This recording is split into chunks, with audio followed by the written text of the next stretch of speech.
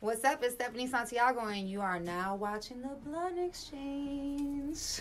I think you got a mm. real a, a real bum ass bitch if she don't buy you something for Valentine's Day. At least a card, some candy, something he likes. Do uh. something cute. You know what I mean? Yeah. I don't think just giving. If you don't have money, make him something. You know. True. You Okay. can- Gotta get get crafty. You know what I'm saying? Make the two some, Get make the threesome happen. Yeah. Yeah, birthday Even- threesome, Valentine's No, but Day that's threesome. box. That's an extra box for Yeah, that's see, two that's boxes. additional for- box. That that that counts as a gift. That's right? A plus one. I think That's that's, a plus one. That that is a plus one to the party. You throw a party. you can throw him a party. You know what I mean? Throw mean? them a party. Shit. Take You know some what notes. I mean? I think ladies, if, um, ladies and, and guys, who, whoever is listening, like. If your girl, if you are a woman and you're not getting your man something for Valentine's Day, if your girl is not getting you something for Valentine's Day, she is a cold-hearted bitch. She's a bum ass bitch. Get that bitch I agree out with of that. here. I agree with that. You know what I'm saying?